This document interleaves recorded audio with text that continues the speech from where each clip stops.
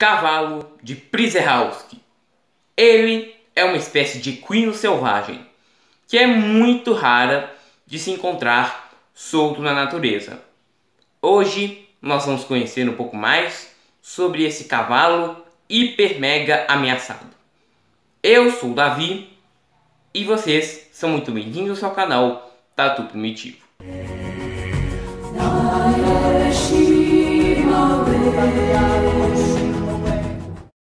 O cavalo de Prizerhauski é uma espécie de equino selvagem que habita desertos da Mongólia. Antes, se encontrava extinto na natureza, mas graças a um projeto internacional, ele foi reintroduzido na natureza.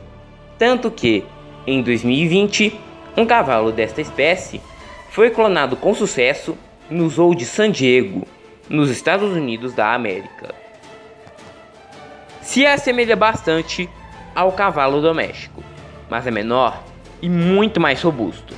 Os adultos dessa espécie medem cerca de 2 metros de comprimento e pesam em torno de 300 quilos.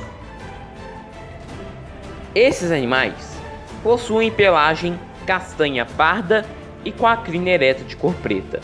Eles formam bandos formados por machos que lideram o grupo e as fêmeas e filhotes ficam no meio do grupo. Lá em Portugal, essa raça de cavalo não existe na forma pura. Por esse motivo, não há relatos de cruzamento com outras raças de cavalos. E então, galera, vocês gostaram de conhecer o último cavalo selvagem existente? Não se esqueça de deixar suas opiniões aqui nos comentários, se inscrever no canal e ativar o sininho para que o canal continue crescendo.